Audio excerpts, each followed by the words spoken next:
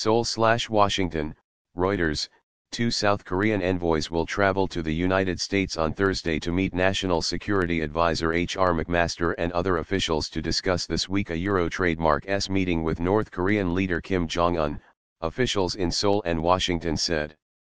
National Security Office head Chung Eui-yong and National Intelligence Service Chief Suh Hoon will also speak with other department heads and later possibly meet either U.S. President Donald Trump or Vice President Mike Pence, a South Korean administration official said on Thursday on condition of anonymity. The official said Chung had already spoken to McMaster on the phone shortly after completing this week a Euro trademark S visit to North Korea. The South Korean envoys are expected to brief U.S. officials on North Korea Euro trademark's stance on possible future talks with Washington and its apparent willingness to suspend nuclear tests if the security of the Nordha Euro trademark's government is assured. U.S. Defense Secretary Jim Mattis was guarded when asked on Wednesday about the prospect of North Korean engagement. A euro or e obviously we euro trademark re cautiously optimistic that there is some forward progress here a euro Mattis told reporters at the Pentagon. A euro but we euro trademark ve been optimistic before so we euro trademark re going to have to watch actions and see if they match words a euro he said. Tensions over North Korea a euro trademark S nuclear and missile programs rose to the highest level in years in 2017.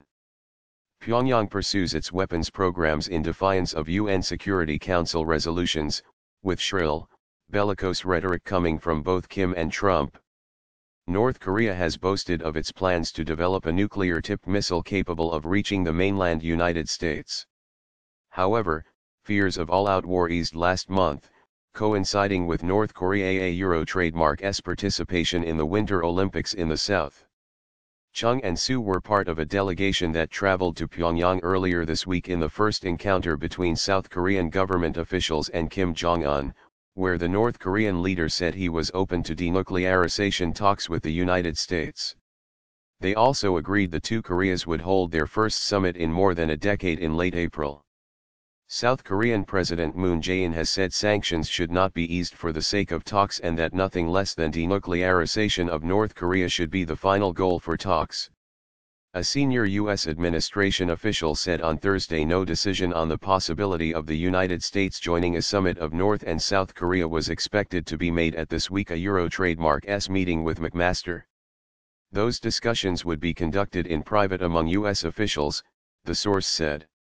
Chung will visit China and Russia after returning from the United States, while Suh Hoon will head to Japan to brief officials.